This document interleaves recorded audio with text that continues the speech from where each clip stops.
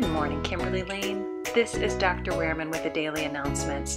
Today is a day two, and it is Wednesday, April 22nd. What's new?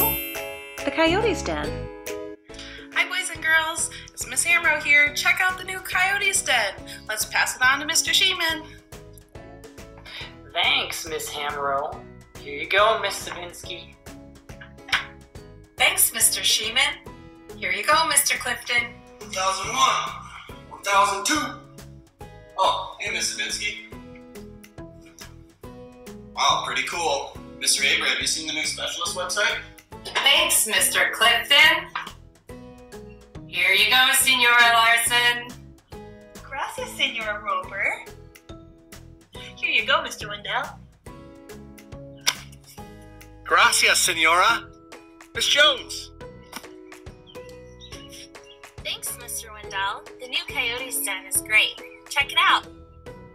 Please look in Seesaw and Canvas for the assignments for the specialists. There's not only the things that are the required pieces to do, there's also a lot of enrichment pieces too.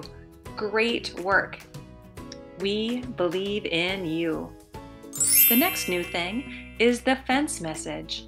We miss you. Check it out if you ever are driving by on Old Rockford Road.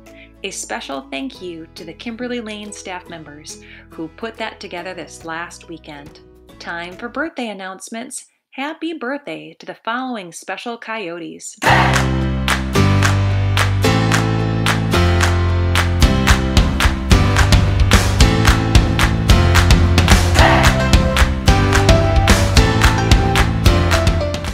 Is time for the Pledge of Allegiance. If everyone could please stand, face the flag, and put your hand on your heart.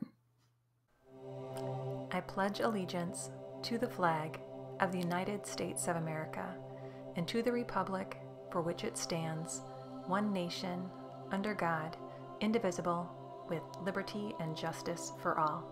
Make it a great day.